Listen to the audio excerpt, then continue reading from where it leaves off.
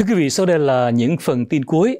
Một chiếc xe hơi đụng phải gốc cây ở thành phố San Juan Capistrano ở miền nam California, khiến hai người thiệt mạng và một người bị thương. Có hai thanh niên bị thiệt mạng và một người khác bị thương khi chiếc xe hơi của họ đụng phải gốc cây ở thành phố San Juan Capistrano vào tối 30 tháng Giêng vừa qua.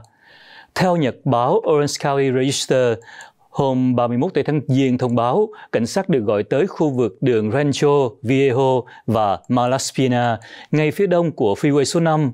Khi tới nơi, cảnh sát trông thấy hai người bị thiệt mạng trên ghế trước của xe và người thứ ba ngồi ở ghế sau bị thương, được đưa tới bệnh viện trong tình trạng rất nguy hiểm. Tài xế bị thiệt mạng có tên là Hans Sullivan, 21 tuổi, là cư dân của Creston, phía đông bắc của thành phố Morro Bay, và người ngồi phía trước với anh đó là Aziz Devani, 19 tuổi, là cư dân của thành phố San Juan Capistrano. Cảnh sát đang điều tra cùng về nguyên nhân của vụ đụng xe này và cảnh sát chưa rõ lúc đó tài xế có lái xe quá nhanh, không tập trung, say rượu hoặc là say ma túy hay không. Trung tâm giúp người vô gia cư ở Garden Grove mở cửa vào mùa thu 2023. Thành phố Garden Grove công bố hợp tác với hai thành phố Westminster và Fountain Valley để mở trung tâm giúp người vô gia cư chính thức mở cửa vào mùa thu năm nay.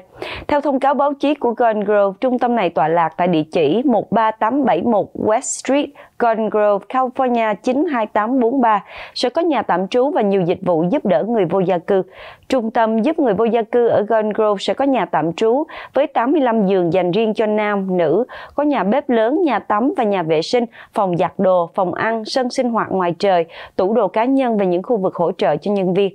Trung tâm giúp người vô gia cư ở Garden Grove chỉ nhận những người được giới thiệu có các dịch vụ về sức khỏe thể chất lẫn tâm thần, dịch vụ về giáo dục và tìm việc làm và dịch vụ giao thông.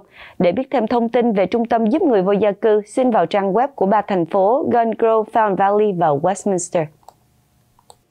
Hãng máy bay Boeing cho biết rằng họ nó phải nói lời chia tay với loại máy bay 747 huyền thoại sau hơn 50 năm kể từ khi chiếc máy bay Boeing 747 được mệnh danh là nữ hoàng bầu trời ra đời và tạo nên cuộc cách mạng trong ngành hàng không.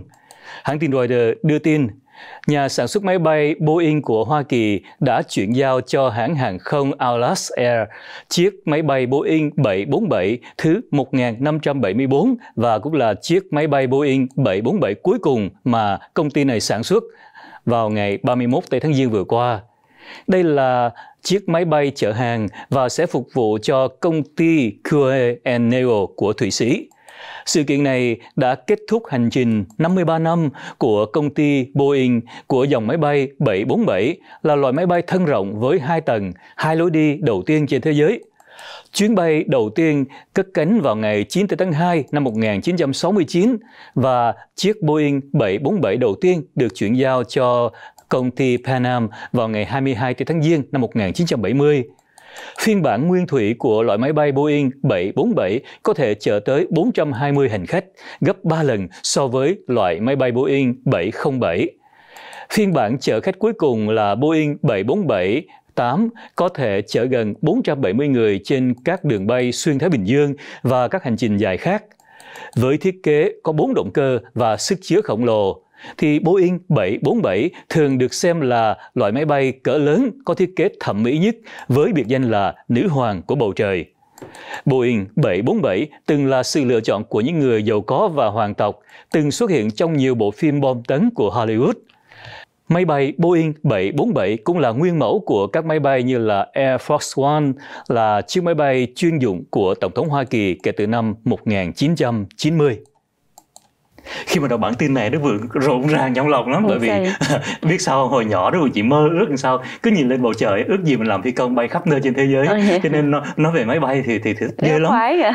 dạ. Dạ. Ở, ở Minh Châu có thích đi máy bay không hay là em cũng thích đi cũng máy thích bay. anh. mà đi máy bay thì để vừa mỗi lần mà máy bay mà cất cánh á yeah. không thích lắm. Người nó nghiêng thì nhiều người sợ nhưng mà lúc đó thì lại thích nhất yeah. em cũng thích có cánh nhưng mà sợ hạ cánh anh ạ. Vậy à? Yeah. lại ngược lại yeah. kính thưa quý vị vừa rồi chương trình tin tức của Sài Gòn TV trên băng tần 57.5 qua sự trình bày của Minh Châu và Đức Vượng. Chúng tôi xin cảm ơn sự theo dõi của quý vị. Xin kính chúc quý vị một ngày mới hạnh phúc. Xin kính chào tạm biệt.